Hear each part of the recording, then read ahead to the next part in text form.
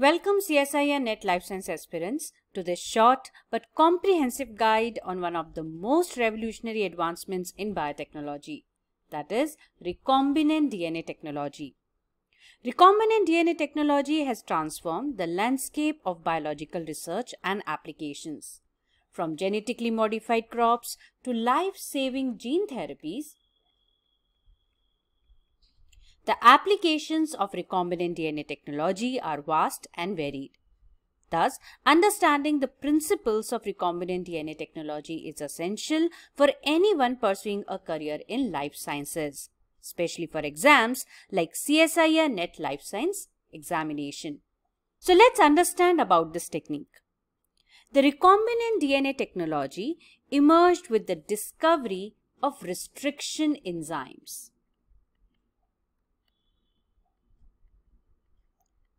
In the year 1968 by Swiss microbiologist Werner Arber. The first recombinant DNA molecules were generated in year 1973 by Paul Berg, Herbert Boyer, Annie Chang and Stanley Cohen of Stanford University and University of California, San Francisco. So what is recombinant DNA technology? This technique, it involves altering of genetic material outside an organism to obtain enhanced and desired characteristics in living organism or as their products. So basically recombinant DNA technology, it refers to use of sets of molecular techniques and restriction enzymes for recombining genes or regulatory sequences from different biosources and to make or construct recombinant DNA molecule in vitro that is outside and living organism in laboratory. And once this recombinant DNA molecule is constructed, it is transferred by several means into the cells where it may be expressed or cloned for specific purposes. Also, recombinant DNA technology is based on central dogma of molecular biology.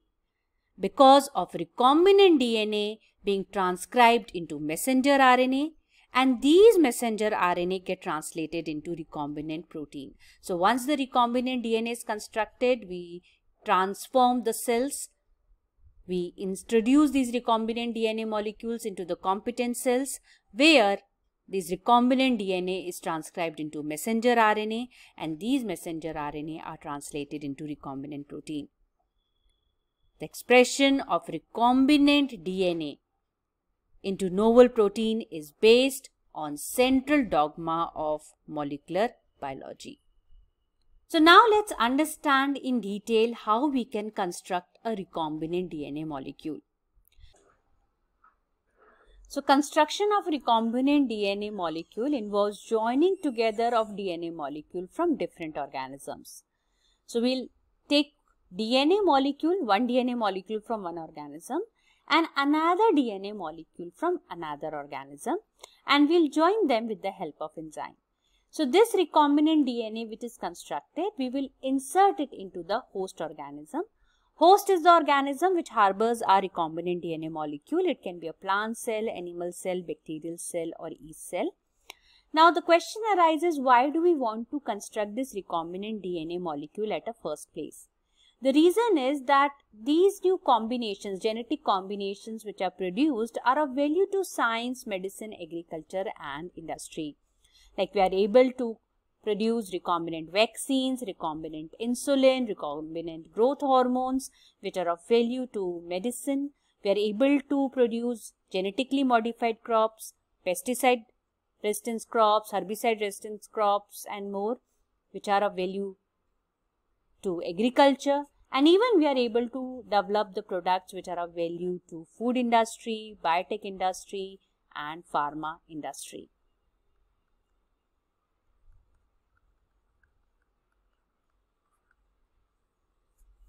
So here in this figure, you can see that how we can create a recombinant DNA molecule. So this is the organism from which one of the DNA molecule is taken. So for this, we have to isolate the total genomic DNA from this organism. For example, let's say you want to develop the herbicide resistance trait in an organism. So in nature, we observe certain plants which show herbicide resistance. So as we all know that gene encodes for functional product. It's the genotype of an organism which determines the phenotype. So if a plant is showing herbicide resistance, it must be having the resistant gene for it. So we'll isolate the genomic DNA from that organism, from that plant. Now we are not interested in total genomic DNA. We need only that DNA fragment with the gene of interest. So we'll perform the digestion of this total genomic DNA so that we'll get different fragments, different uh, size DNA fragments. And specifically the DNA fragment carrying a gene of interest, we will isolate from other fragments by using either hybridization technique or PCR. Similarly, we need another DNA molecule which is called as vector. So, this another DNA molecule will be the vector or you can say a vehicle which will be carrying our gene of interest. So, this vector can be a plasmid, it can be a cosmid, it can be a bacteriophage, it can be a artificial chromosome so as shown in this figure, we have isolated a plasmid, a bacterial plasmid. So plasmid are extra chromosomal uh, self-replicating genetic materials present in the bacteria. So this plasmid will be acting as a vehicle or a vector. So this plasmid will open up by digesting it with the enzyme called as restriction enzyme. And then with the help of another enzyme called as DNA ligase, we will join this DNA fragment carrying a gene of interest to this vector constructing a recombinant DNA molecule which is also called as chimera. So this is the construction of recombinant DNA molecule. But the another step is we have to clone this recombinant DNA molecule as well. So when we talk about gene cloning, it involves cloning of a gene that is forming identical copies of a gene or a DNA molecule. So in gene cloning, the very first step is construction of recombinant DNA molecule. The next step is you will transport this recombinant DNA into the host cell.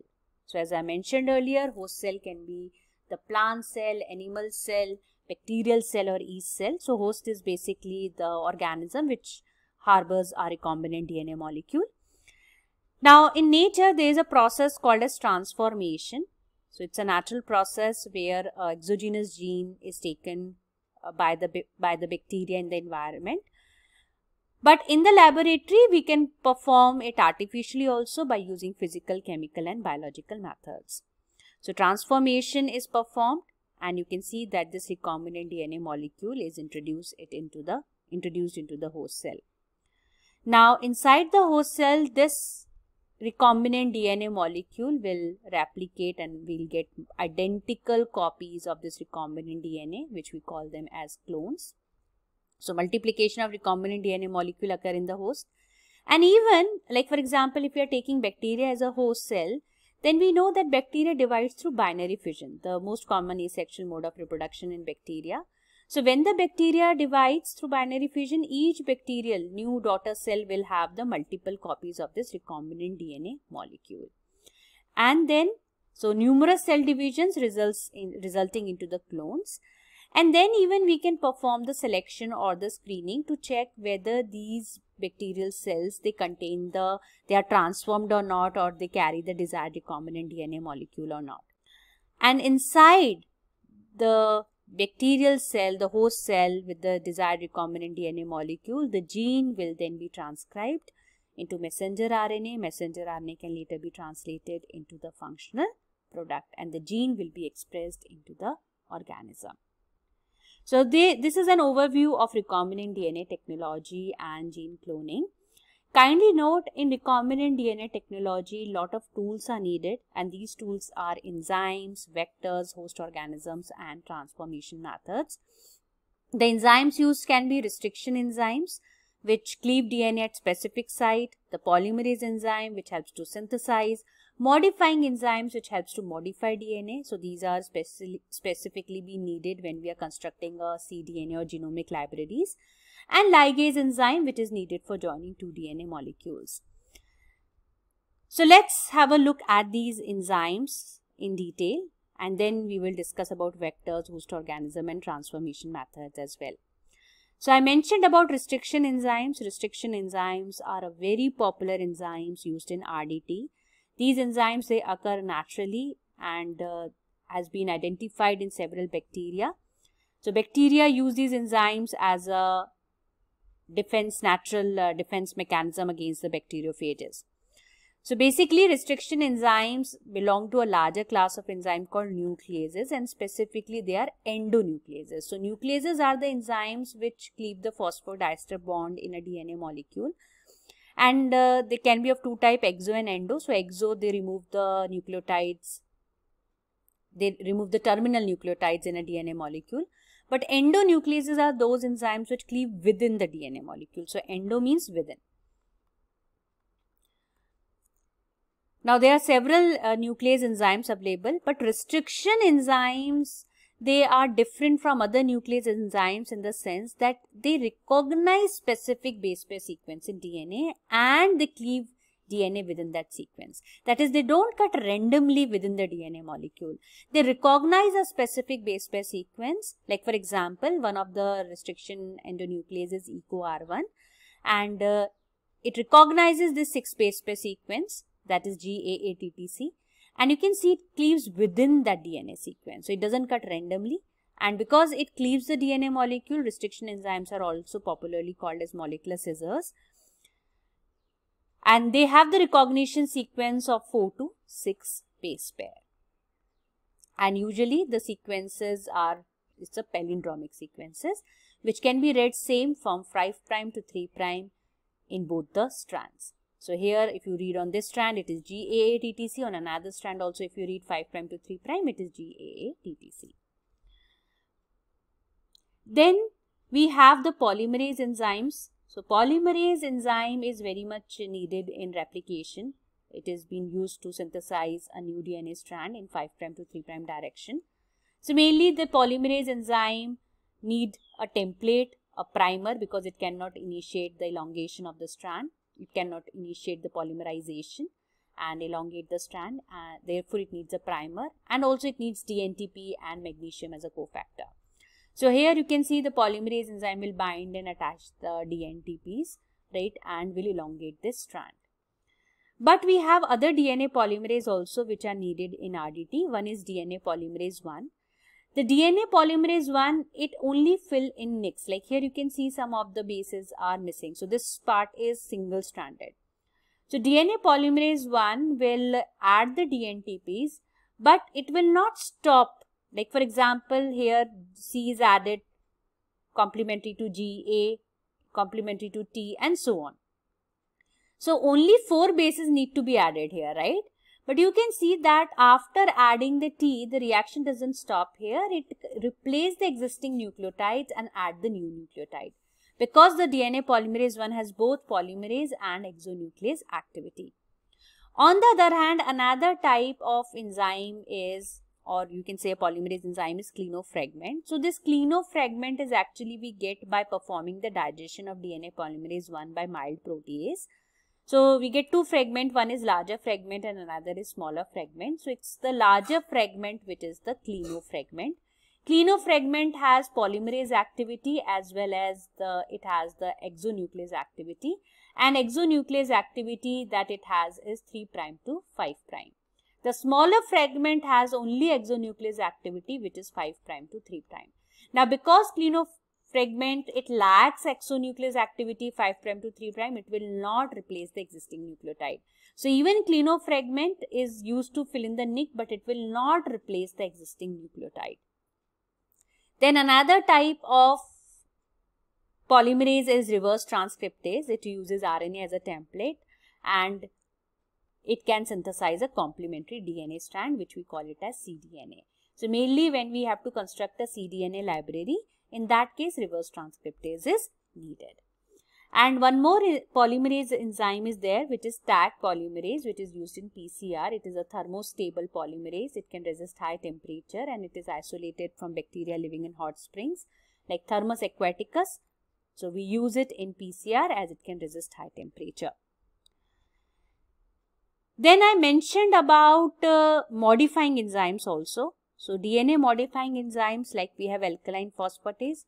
Alkaline phosphatase enzyme, it removes the phosphate group from 5 prime end. So mainly we need this enzyme because when we are digesting the vector, right, like I told you uh, to construct a recombinant DNA molecule, we need a vector. So if we isolate a plasmid, we have to cut it open, right? We have to digest it. We have to cleave it at one place.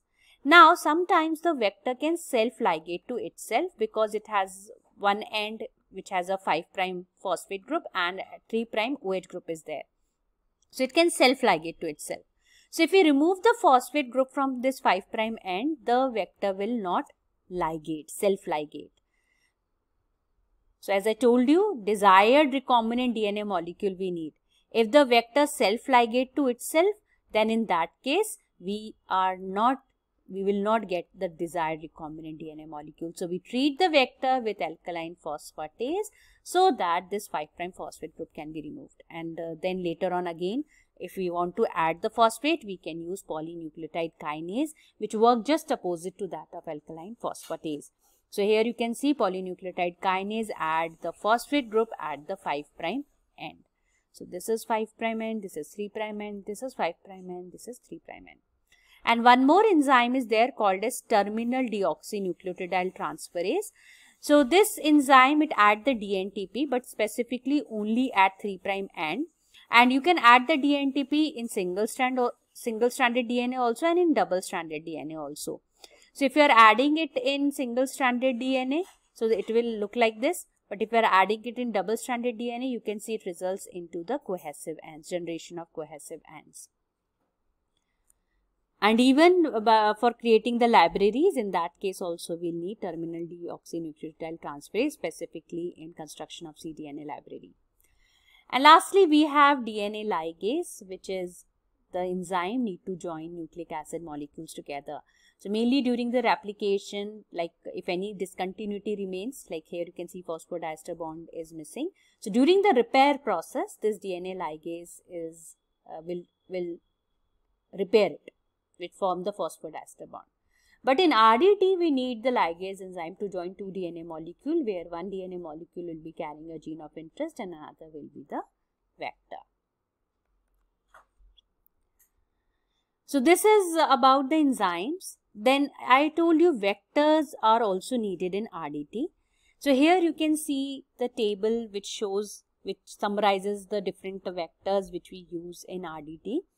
Vectors used can be a plasmid, it can be the bacteriophage like bacteriophage lambda or M13, it can be a cosmid. So cosmid is basically a plasmid only to which bacteriophage lambda cos site is attached.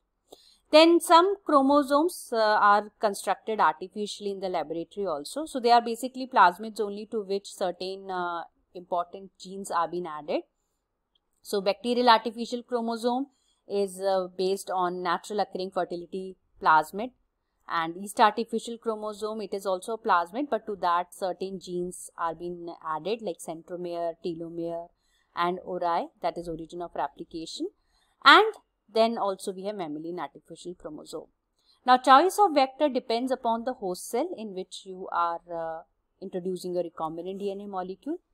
Because for example, if you want to express a gene in yeast cell, then you know that there is a difference in prokaryotic and eukaryotic cell. So yeast is a simple eukaryotic cell and um, in yeast like they, they, the cell division happens and uh, certain enzymes are there which can degrade the recombinant DNA molecule if you introduce it uh, inside the cell. So therefore, need the genes for stability and for replication.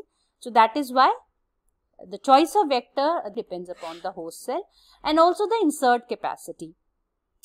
That is how much size of uh, gene you want to introduce it into the vector. So, every vector has a size limit of the insert. Like if you want to clone a gene of less than 10 kb, you can use a plasmid. But if you want to clone a gene of 35 to 45 kb, then definitely you cannot use plasmid, you need a cosmid. For BAC, the range, the size limit of insert is 150 to 300. For YAC, it is 100 to 1000 kb, much more than BAC. And for mammalian artificial chromosome, it is much more than that. We have other artificial chromosomes also like, like we have TAC, we have PAC, right, and more. So here I am giving you an example of vector PBR322 where P stands for plasmid and BR stands for Bolivar and Rodriguez, the two scientists who developed, uh, who constructed this vector. And 322 is the, it's the number given like which is used to differentiate this plasmid from other plasmids developed in the laboratory. So PBR322 is one of the first vector to be developed. And it is constructed in the laboratory like basically they it is based on natural occurring plasmids only so like uh, ampicillin resistant gene is taken from one of the natural occurring plasmid, tetracycline resistant gene from another natural occurring plasmid, derived from another natural occurring plasmid. And then by using these genes, we are constructing this PBR322. So here you can see this PBR322, it has a size uh, of 4.3 kb. So ideally a vector should have a size of less than 10 kb. So yes, PBR322 has a size of less than 10 kb and it should have a selectable marker genes which can help in later screening or selection of the recombinant DNA molecule. So this PBR322 has ampicillin resistant gene and tetracycline resistant gene. It has origin of replication for replication and also it contains the restriction sites for restriction enzymes because we have to open up this vector, we have to digest this vector and introduce a gene of interest in it. So for that we need the restriction enzyme recognition sites. So here you can see SCA1, PVU1, PST1 restriction enzyme recognition sites are clustered in ampicillin resistant gene region. Then tetracycline resistant gene region contains recognition site for HIND3, BAMH1 and SAL1 restriction enzyme.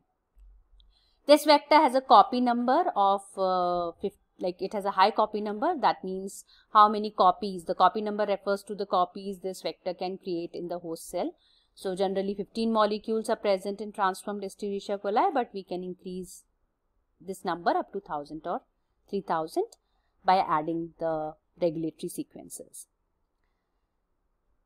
so here I would like to explain you that how we can create a recombinant DNA molecule. So this is our normal vector molecule. That is, if I transform the host cell with this normal vector molecule, the bacteria will show resistance for ampicillin and tetracycline. Like if I grow that bacteria in a media containing these antibacterial agents, the bacteria will survive because the this vector will be, this vector which is a plasmid PBR322 will provide resistance to the bacteria to survive in presence of antibacterial agent. So this is a normal non-recombinant vector molecule. Now let's say I introduce a DNA fragment with the gene of interest in this tetracycline resistant gene. So I perform the restriction digestion with BAMH1 and I introduce the gene of interest within this tetracycline resistant gene. So you can see that the, the gene sequence of tetracycline resistant gene is, is no longer same. In between I have inserted some DNA fragment which in turn has its own DNA sequence. So this leads to inactivation of the gene. It leads to disruption of the gene. So now the tetracycline gene will be inactivated. So if I introduce this vector now, which is now recombinant into the host cell, the host cell will show resistance to ampicillin. Like if I grow this uh, host cell into a media containing ampicillin, the bacteria or the host cell will survive. Let's say our, our host cell is bacteria. So, our host cell will survive because anti because the resistant gene for ampicillin is already there. However, since the tetracycline gene is inactivated, now if we grow the host cell in the media containing tetracycline, it will not survive because it has become sensitive to tetracycline.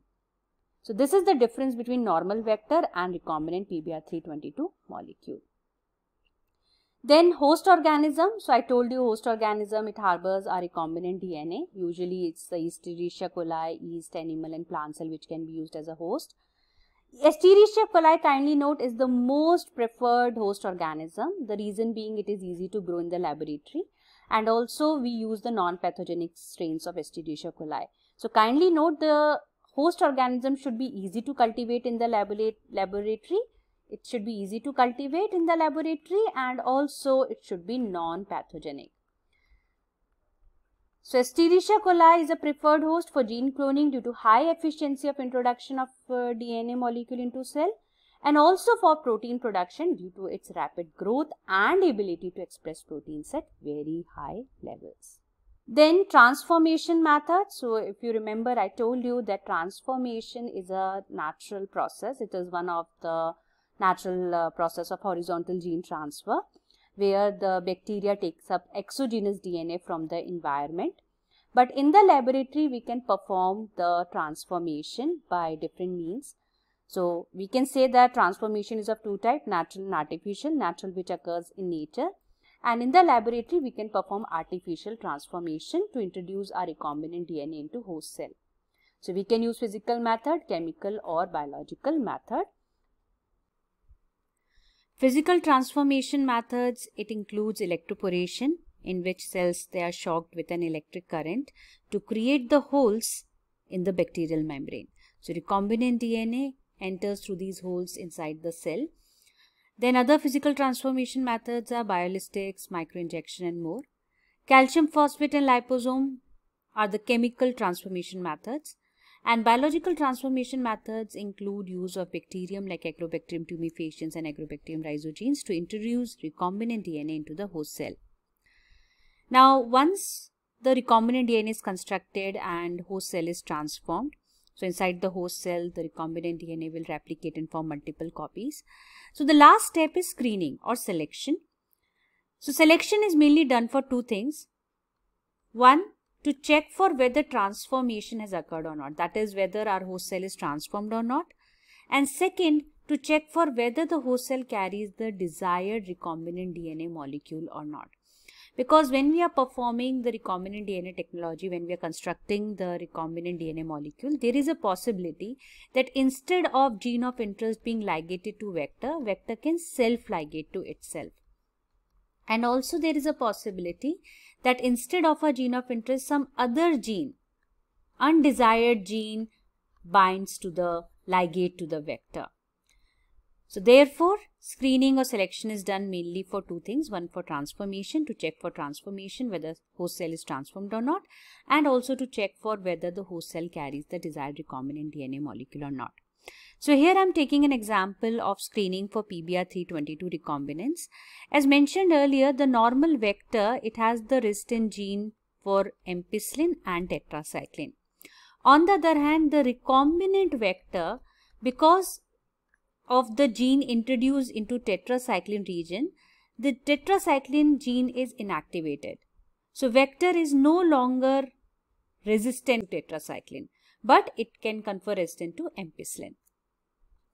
So here you all can see that we have three cells. First cell is without any plasmid. That is, this is the cell where transformation has not occurred.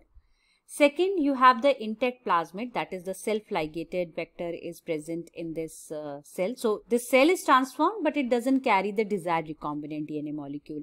It carries the vector which is self-ligated. And third is the cell which will be carrying our desired recombinant DNA molecule. Now, kindly note the cell host cell with the self-ligated vector or the undesired recombinant DNA, it will replicate just as the desired, just as the host cell carrying the desired recombinant DNA molecule. So therefore screening is very much needed. So here three types of cells are there and we don't know which one is transformed or which one is non-transformed or which one is carrying our desired recombinant DNA molecule. Let's suppose this. So when we grow these three cells in a media containing ampicillin, so you can see that only the cells having the ampicillin resistant gene will survive. So that means the cells with the intact plasmid and clone plasmid will survive. The cell which is not transformed will not survive because at the end it's the vector which is having the resistant genes for ampicillin. So if, if the cell is not transformed, it will not have the vector and as a result it will not survive in the media having ampicillin, only the transformants will produce the colonies. So this way we have checked for transformants. Now we will check for recombinant, the, the host cell carrying the desired recombinant DNA molecule. So for this, we will perform replica plating. We'll keep a wooden block on this Petri plate. So this will be our master plate. And then this wooden block, we'll place it on another uh, Petri plate. So here you can see after incubating this plate, the colonies are formed but some colonies are missing which were present in the master plate. So basically this plate contains the tetracycline. So as we know that the normal vector, it will have the tetracycline resistant gene in it. but our recombinants are sensitive to the tetracycline. So non-recombinants will survive and grow. So the colonies that you see on this plate are of non-recombinant, whereas the recombinants which are tetracycline sensitive will not grow. So from the master plate, we can pick the colonies which were missing in this replica plate with tetracycline and we can grow them separately. So these are the cells with the PBR322 clone DNA inserts. Now for CSIR NET aspirants, this topic is important because even you can expect many questions from this topic. The question can be directly on restriction enzyme or on vectors. So question can be statement based, question can be figure based. So here you can see a statement based question. A researcher attempted to clone two genes X and Y independently in a plasmid vector for overexpression and purification in Escherichia coli. All attempts to clone gene X were unsuccessful, whereas gene Y could be cloned easily. When the researcher attempted to clone gene X in the plasmid clone containing gene Y, gene X could be cloned. So the following statements were proposed to explain the above results. So four statements are given and you have to Find out that which one of the following options represents a combination of correct statement to explain the observations. So this is an experimental based question and to answer such question you have to read the question carefully. You have to focus on what information, what detail is given and based on that you have to then go through each statement one by one and you have to find out which statements are correct. So let's go through statement A, B, C and D. So statement A is that protein encoded by gene Y is not lethal to the cell. So as mentioned in the question, the researcher attempted to clone two genes X and Y independently in a plasmid vector for overexpression and purification in Escherichia coli. And the attempts to clone gene X were unsuccessful, whereas gene Y could be cloned easily. So this statement A is correct because it is mentioned that gene Y could be cloned easily and this is only possible when the protein encoded by gene Y is not lethal to the cell. So this statement A is correct. Then gene X, statement B is gene X has introns which prevents its expression in Escherichia coli. So if this would have been the case, then in that case, if when we were cloning the gene X in the plasmid containing gene Y, we are observing that gene X could be cloned. So this statement is incorrect. Then statement C is expression of X protein is lethal to the cell. So this statement is also correct. The reason is that it is mentioned in the question that all attempts to clone gene X were unsuccessful. So this is only possible when expression of the X protein is lethal to the cell. So this is correct statement C. And statement D is that Y gene product inhibits the activity of X protein. So statement D is also correct because it is mentioned that when the researcher attempted to clone gene in the plasmid clone containing Y, earlier gene X, cloning of gene X was unsuccessful. But when we are cloning the gene X when the researcher attempted to clone gene X in the plasmid clone containing gene Y, it could be cloned. So this is only possible when Y gene product inhibits the activity of the X protein. Hence, the answer is option 4 because A, C and D statement is mentioned in option 4.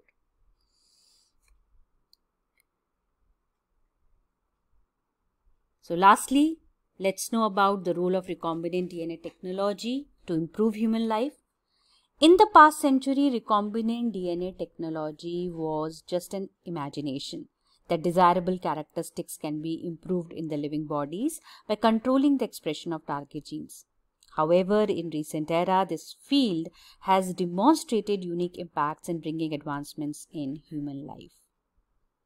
By virtue of this technology, crucial proteins required for health problems and dietary purposes can be produced safely, affordably and sufficiently.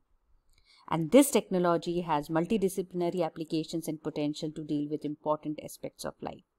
For example, in medicine, we are able to generate recombinant insulin, growth hormones, growth factors, interferons, interleukins, recombinant vaccines, antibiotics.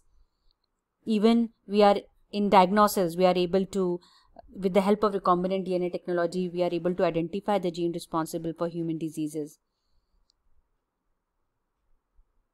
And moreover, recombinant pharmaceuticals are now being used confidently and rapidly, attaining commercial approvals.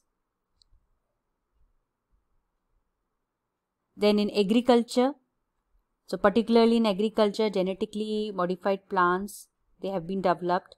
So they have uh, augmented resistance to harmful agents. They are being uh, modified to enhanced product yield and show increased adaptability for better survival. Then in forensic sciences, the application of recombinant DNA technology in forensic sciences, uh, it also depends on the techniques uh, called DNA profiling or DNA fingerprinting. So with the help of uh, recombinant DNA technology, it is now possible to investigate crime suspects, paternity testing, studying kinship and even sex identification. Then in energy applications also recombinant DNA technology plays an important role. So there are several microorganisms, uh, especially cyanobacteria.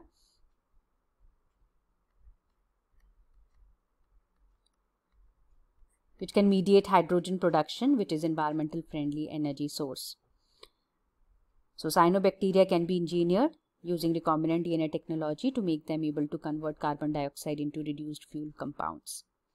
And in archaeology, recombinant DNA technology can be used to study origins of modern humans and also used to study prehistoric human migrations. So to summarize, recombinant DNA technology is a powerful tool that allows scientists to manipulate DNA for various purposes with wide-ranging applications in agriculture, medicine, forensic science, energy applications and beyond. So, to all the CSIR Net Life Science aspirants out there, dive deep into the world of recombinant DNA technology. It's not just a subject. It's a gateway to endless possibility in the realm of biotechnology. I hope you like this video. Thank you.